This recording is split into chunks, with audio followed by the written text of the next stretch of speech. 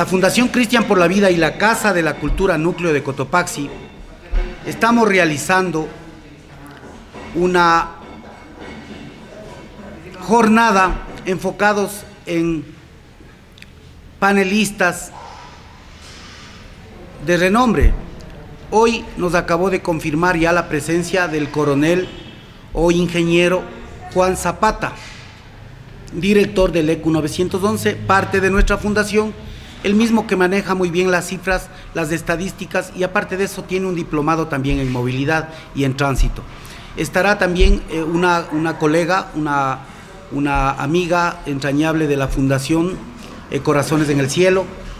Estará un funcionario importante de la Agencia Nacional de Tránsito y pues está por confirmar, no les doy el nombre, eh, ojalá un funcionario importantísimo de, del Distrito Metropolitano de Quito, él ocupa una cartera que va con el tema, ¿no?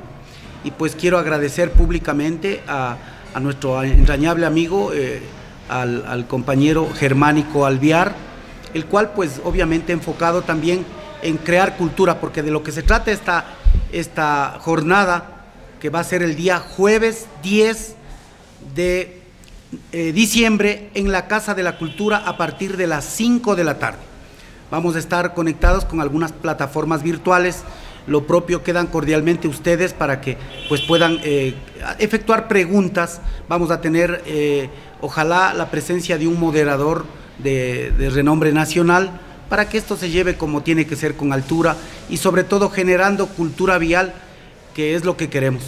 Nosotros como Casa de la Cultura nos sumamos a esto, porque de pronto van a decir, ¿y qué hace la Casa de la Cultura?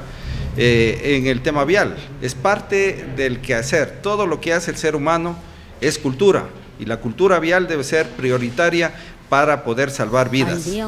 Por ello es que nosotros nos sumamos y vamos a firmar un convenio con la Fundación Cristian por la Vida para en los medios virtuales de la Casa de la Cultura poder hacer difusión todas las semanas de cultura vial.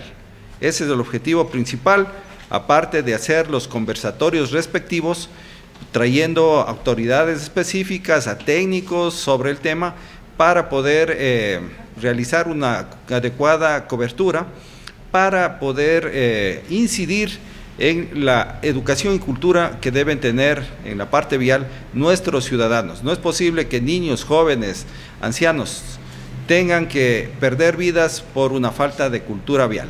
Ese es nuestro objetivo y por ello es que la Casa de la Cultura va a firmar un convenio para todas las semanas hacer actividad a favor de, concientizar a, a todos los ciudadanos de nuestra provincia sobre cómo debemos utilizar las vías, cómo debemos utilizar la señaléctica y todo lo que concierne a una cultura vial.